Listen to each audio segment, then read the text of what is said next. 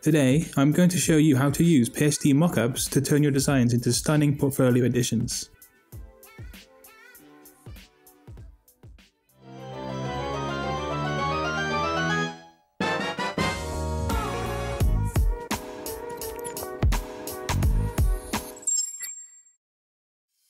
What is up people? Thomas Satori Graphics back again with another graphic design tips video.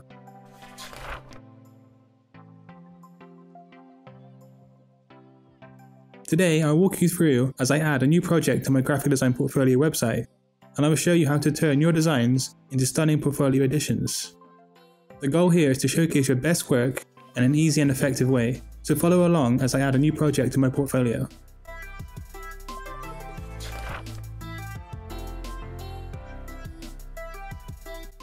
There are so many websites that have downloadable free mockups that you can use.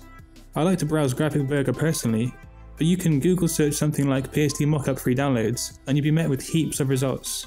So as you can see on Graphic Burger here, there are a nice selection of things we can use. And we can even search something like branding and see what comes up then.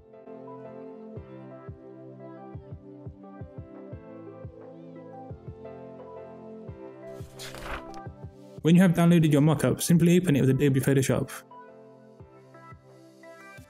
As you can see, each object has its own folder in the layer menu, and if you click this drop down arrow here, you can browse each layer within. On the layer that says add your design here, double click it to open a new window. In this new window you should put the design or the object you want to work on. So I'm going to go to Illustrator to get my logo I designed for a client last month and place it in the layer before deleting the original one.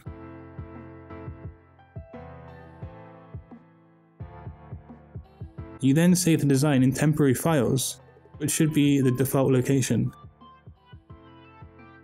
When you go back to your mockup, it will be in place. I will show you that one more time with the tag here. But if you are clear on how to do this, move to the timestamp in the corner.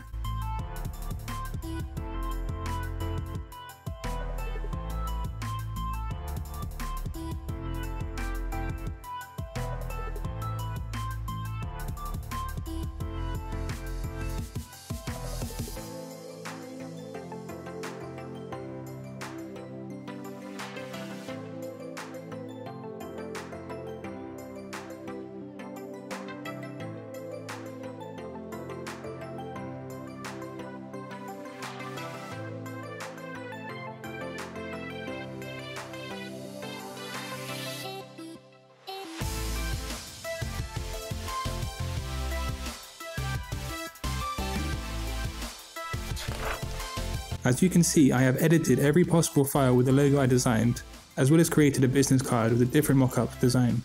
I will try to put the links for these mockups in the description below. I'm going to create a new canvas that will be my branding composition for my portfolio edition. I like to make it at 1000 pixels width, I'm going to use 4000 pixels in length. We can change this later however, it's too short.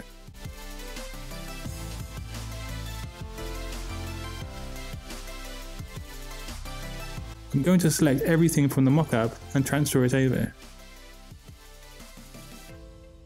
We want to kind of tell a story along the design from top to bottom.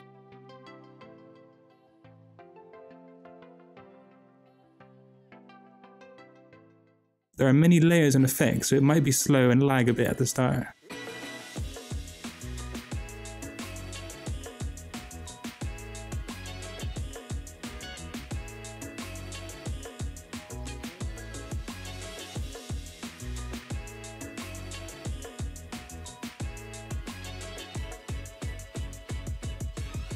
I want to have the logo at the top and have the background stretch up to give a nice header effect in the portfolio edition.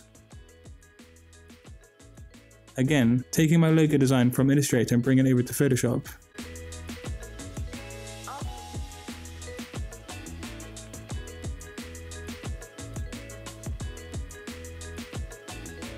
I'm going to lower the opacity or change the blend mode to something like overlay.